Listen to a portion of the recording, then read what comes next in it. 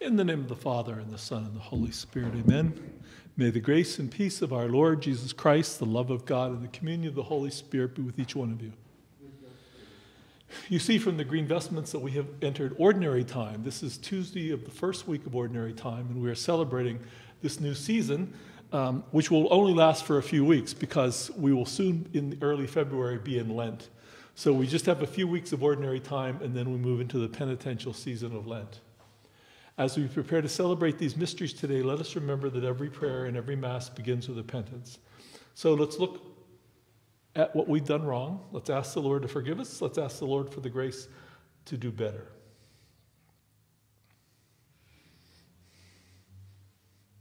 You were sent to heal the contrite of heart. Lord, have mercy. You came to call sinners. Christ, have mercy. You are seated at the right hand of the Father to intercede for us. Lord, have mercy. May Almighty God have mercy on us, forgive us our sins, and bring us everlasting life. Amen. Let us pray. Attend to the pleas of your people with heavenly care, O Lord, we pray, that they may see what must be done and gain strength to do what they have seen. Through our Lord Jesus Christ, your Son, who lives and reigns with you in the unity of the Holy Spirit, one God forever and ever. Amen. A reading from the letter to the Hebrews. It was not the angels that God subjected the world to come, of which we are speaking. Instead, someone has testified somewhere What is man that you are mindful of him, or the Son of Man that you care for him? You made him for a little while lower than the angels. You crowned him with glory and honor, subjecting all things under his feet. Is subjecting all things to him, he left nothing not subject to him. Yet at present we do not see all things subject to him. But we do see Jesus crowned with glory and honor because he suffered death. For he who for a little while was made lower than the angels, that by the grace of God he might taste death for everyone. For it was fitting that he, for whom and through whom all things exist, in bringing many children to glory, should make the leader to their salvation perfect through suffering. He who consecrates and those who are being consecrated all have one origin. Therefore, he is not ashamed to call them brothers, saying, I will proclaim your name to my brethren. In the midst of the assembly, I will praise you. The word of the Lord. Responsorial psalm is, Alleluia, Alleluia. O Lord our God, how glorious is your name over all the earth. What is man that you should be mindful of him, or the Son of Man that you should care for him? Alleluia. You have made him little less than the angels and crowned him with glory and honor. You have given him rule over the works of your hands, putting all things under his feet. Alleluia. All sheep and oxen, yes, even the hearts, yes, even the beasts of the field, the birds of the air, the fishes of the sea, and whatever swims the path of the sea. Alleluia. Please stand to honor the gospel. The Lord be with you and with your spirit. A reading from the Holy Gospel according to St. Mark. Glory to you, Lord. Jesus came to Capernaum with his followers, and on the Sabbath he entered the synagogue and taught. The people were astonished at his teaching, for he taught them as one having authority and not as the scribes. In their synagogue was a man with an unclean spirit. He cried out, What do you have to do with this, Jesus of Nazareth? Have you come to destroy us? I know who you are, the Holy One of God. Jesus rebuked him and said, Quiet, come out of him. The unclean spirit convulsed him, and with a loud cry came out of him. All were amazed and asked one another, What is this? A new teaching with authority. He commands even the unclean spirits, and they obey him.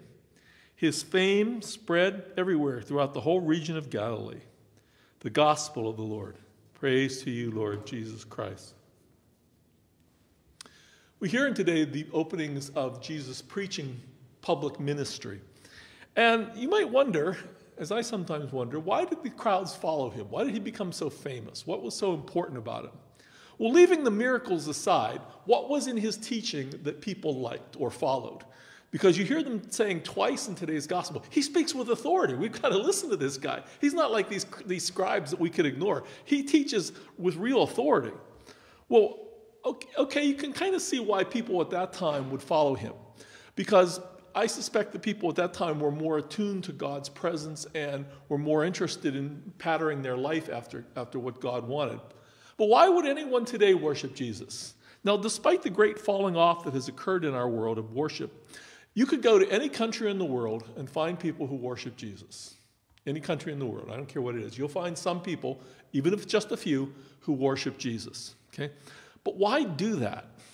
Conceptually, there are two problems with following the teaching of Jesus. Let me try to articulate what they are. The first problem is basically, however good Jesus' teaching, he's not us, he's not me. Well, what do I mean by that? Well, in America at least, we're taught to follow our own desires. In America, only children obey. only children are expected to follow any rules. When you get older, you're supposed to find your own rules and set your own life and do what you do your own thing. Because people say it's my life, right? So, however great Jesus' teaching was, it's not my teaching. It's his teaching. Maybe it's good for him, but I set my own rules. I don't obey anybody. Okay? That's the first problem. Jesus' teaching isn't my teaching. Second, what Jesus asks is very, very hard. Okay? He doesn't preach any prosperity gospel or say, if you follow me, you're going to have a life of ease and comfort and, and fame. Just the opposite. Okay? So, given just being alive is very hard. Following Jesus on top of that makes your life harder. So, since Jesus and his teaching is so hard, he wants us not only to not follow what we want, he wants us to deny ourselves. He wants us to deny our basic teaching, our basic desires, I should say. So, given that his teaching isn't what we want and it's very hard to follow, why would anyone follow him? Well, I think there's a couple reasons for following, several reasons actually for following Jesus. First of all, to put it crudely, following my desires has not served me well. Okay? Doing what I want throughout my life has put me in the, the, the ditch.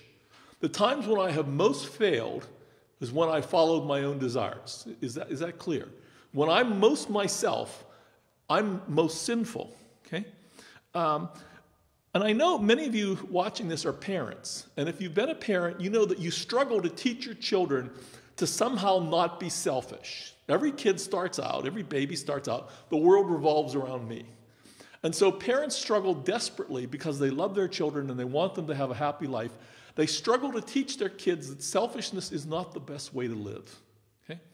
And when we get to be adults, nobody's telling us that anymore. Okay, so we, we, we revert back to our own desires. Okay? But following my, I'll repeat, following my desires, my own desires, my own best wishes have not served me well. They've made me fail. Okay? Okay, so that's one reason that um, you might want to follow Jesus, because following your own desire has crashed you. Okay? It, it hasn't served you well.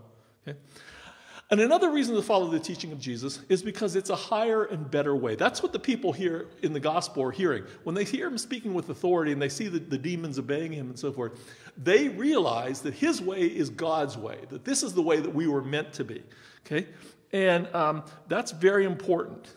And if we follow Jesus' way, it's not going to give us pleasure because we're not going to get, remember, we're dying to ourself and the things that lead us to pleasure, but it is going to lead us to peace and a lot of contentment.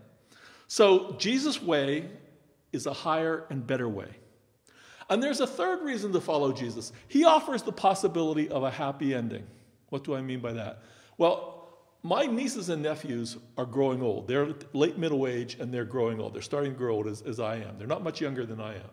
And so um, it's frustrating to see them repeating all the mistakes of their parents. Okay? They're reaching old age bitter failures. They, of course, they ditched their spouses, they're estranged from their kids, they're living for their pension. That's what everybody that I see there, even my nieces and nephews, they live for their pension. If there anything happened to their pension, they'd be devastated. Because that's the most important thing in their life now is their pension that they've earned. Because that's what they have to, to, to hold on to when they've lost everything else. And I see them bitter and frustrated, and it makes me bitter and frustrated because I say, why do people have to grow old in such failure? They didn't start out that way. They were you know, they, they had high hopes of success. And even in their own terms, they're failure. So they didn't get to be failures, by the way, by following Jesus. They got to be failures, and they would admit this, I think, by following their own desire. I did what I wanted, and it's, it's turned to ashes. It's turned to ashes. So, following Jesus offers the possible, however many mistakes you've made, and however many bad things you've done, and even if your life is ashes now, following Jesus offers you the possibility of a happy ending that you can finally make a new start, whatever your mistakes in the past. You can be forgiven for what you've done wrong, and you can begin again. And even if it's the very end of your life and it's, you're on your deathbed and you turn to Jesus, He still offers you the possibility of a happy ending. Okay? And speaking for myself, I want a happy ending to my story. I want to end well. However many mistakes I've made along the line, I want to end up where the fairy tale says they lived happily ever after. That's what I want. And the only way I can get that is through Jesus. He's the only happy ending that I can see. Even for my nieces and nephews and all the failures that, that I see all around me, even the ex priests and the, all the people that are bitter and estranged from their families and all this kind of stuff, he offers the only possibility that their life could be beautiful, even at the very end. So, Jesus is the author of our story. He is the way and the truth and the life. And he speaks to us with authority because he is the author of our story. The word authority comes from the word author and He is the author of our story. And the more we follow Him, the better chance we're going to have. And the more we reject Him and live for our own desires, well, you know what's going to happen then. In the name of the Father, and the Son, and the Holy Spirit. Amen. Let us stand and bring our needs before the Father who loves us. Dearest Father, we come before you to worship you and adore you and serve you and love you with all of our hearts. We begin praying first, as always, for the church. We ask you to bless it and strengthen it in faith and holiness. For the church, we pray to the Lord. We pray for our world, for all those who've been hurt by the coronavirus and all those who've died from it. So, for our world and all those hurt by the virus, we pray to the Lord. We've been asked to pray today for the soul of Francisca Uribe. So, for Francisca Uribe, we pray to the Lord. We pray for our nation. We ask the Lord to bless it and guide it. For our nation, we pray to the Lord. Lord, hear our prayer. We pray for the grace to find God's will and do it, that our life may be successful, even if just at the end.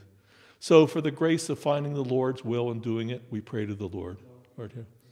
We thank the Lord for all the kindness He's shown us, all the patience He's shown us, all the times He's put up with us and took us back after we failed.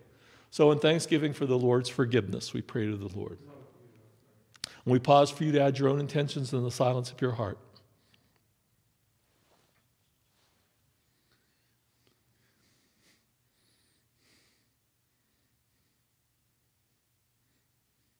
For each of these important needs, we pray to the Lord. Lord, hear. Father, you've heard our prayers, those we've spoken out loud and those too deep in our heart for words. Dearest Father, grant these prayers that they be, first of all, to your will, and second, to our best interest. And we ask these things as we ask all things in the name of your Son, our Lord Jesus Christ. Amen.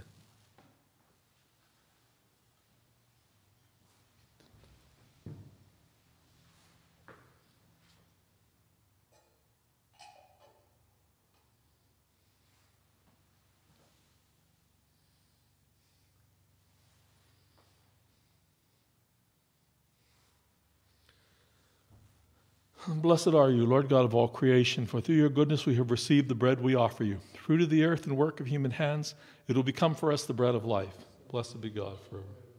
By the mystery of this water and wine, may we come to share in the divinity of Christ, who humbled himself to share in our humanity. Blessed are you, Lord God of all creation, for through your goodness we have received the wine we offer you. Fruit of the vine and work of human hands, it will become our spiritual drink. Blessed be God forever. With humble spirit and contrite heart, may we be accepted by you, O Lord, and may our sacrifice in your sight this day be pleasing to you, Lord God. Lord, wash away my iniquity and cleanse me from my sinfulness. Pray, brethren, that my sacrifice and yours may be acceptable to God, the Almighty Father. May the Lord accept the sacrifice at your hands for the praise and glory of his name, for our good and the good of all his holy church. May your people's oblation, O Lord, find favor with you, we pray, that it may restore them to holiness and obtain what they devoutly entreat through Christ our Lord. Amen. The Lord be with you. Lift up your hearts. Let us give thanks to the Lord our God. It is right and just. It is truly right and just, our duty and our salvation, always and everywhere to give you thanks, Lord, Holy Father, Almighty and eternal God. For though you have no need of our praise, Yet our thanksgiving is itself your gift, since our praises add nothing to your greatness, but profit us for salvation through Christ our Lord. And so, in company with the choirs of angels, we praise you, and with joy we proclaim Holy, holy, holy Lord God of hosts. Heaven and earth are full of your glory. Hosanna in the highest. Blessed is he who comes in the name of the Lord. Hosanna in the highest. You are indeed holy, O Lord, the fount of all holiness. Make holy, therefore, these gifts, we pray, by sending down your Holy Spirit upon them like the dewfall, so that they may become for us the body and blood of our Lord Jesus Christ. At the time he was betrayed and entered willingly into his passion, he took bread and, giving thanks, broke it and gave it to his disciples, saying, Take this, all of you, and eat of it, for this is my body, which will be given up for you.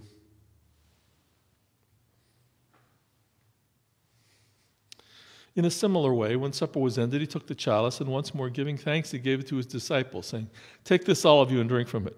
For this is the chalice of my blood, the blood of the new and eternal covenant, which will be poured out for you and for many for the forgiveness of sins. Do this in memory of me.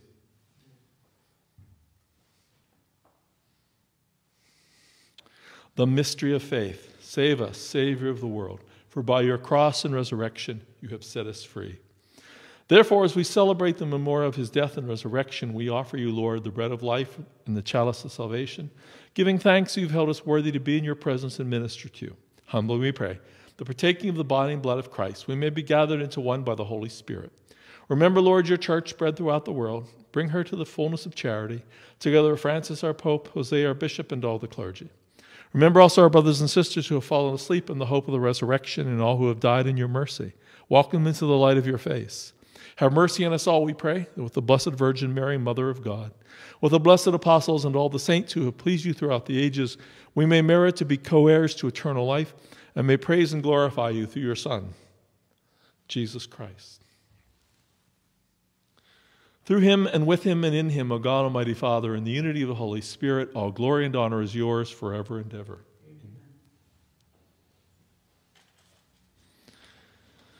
At the Savior's command, informed by divine teaching, we dare to say, Our Father, who art in heaven, hallowed be thy name. Thy kingdom come, thy will be done, on earth as it is in heaven.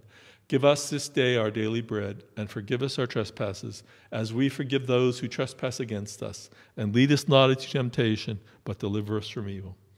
Deliver us, Lord, we pray, from every evil. Graciously grant peace in our days, that by the help of your mercy we may be always free from sin and safe from all distress as we wait the blessed hope and the coming of our Savior, Jesus Christ.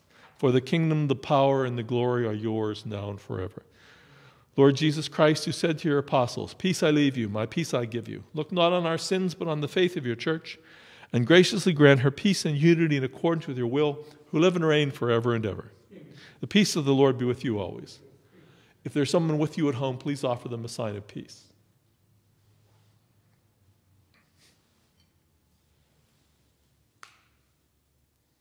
Lamb of God, you take away the sins of the world, have mercy on us. Lamb of God, you take away the sins of the world, have mercy on us. Lamb of God, you take away the sins of the world, grant us peace.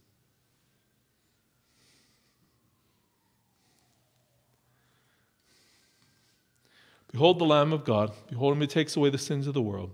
Blessed are those called to the supper of the Lamb. Lord, I am not worthy that you should enter into my roof, but only say the word, and my soul shall be healed.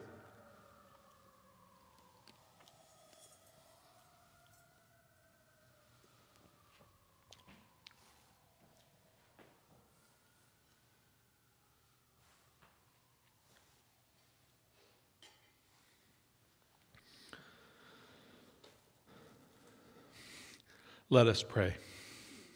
Humbly we ask you, Almighty God, be graciously pleased to grant that those you renew with these sacraments may also serve with lives pleasing to you, through Christ our Lord. Amen. The Lord be with you. Bow your heads and pray for the Lord's blessing. May the blessing of Almighty God, the Father, the Son, and the Holy Spirit descend upon you and remain with you all the days of your life. Amen. Our Mass of this Tuesday of the first week of Ordinary Time is ended. But let us go in peace to live the Mass and love and serve the Lord. Thanks be to God. Enjoy your afternoon.